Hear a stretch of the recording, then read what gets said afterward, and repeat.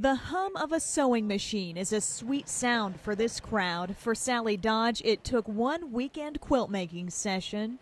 And I was addicted. And she loves how it feels to give them as gifts. It's kind of like comfort, comfort food without the calories.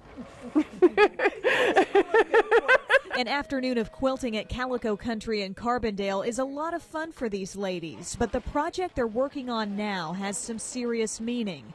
It was inspired by owner Chuck Clark's two year old niece, Anna. Hi, Anna. Hi.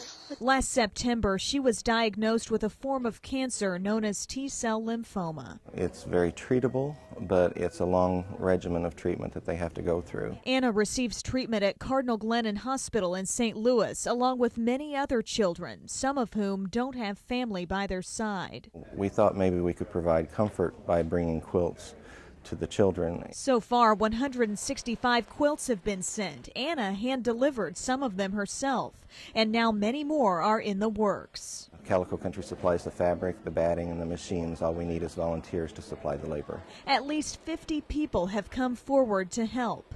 It does take a village, not only to raise a kid, but to also encourage a kid and to make them know that they are loved and that somebody's out there thinking of them.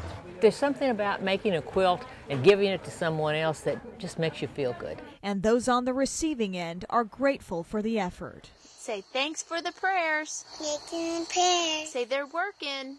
You working. In Carbondale with this week's Unsung Heroes, Emily Eddington, News 3.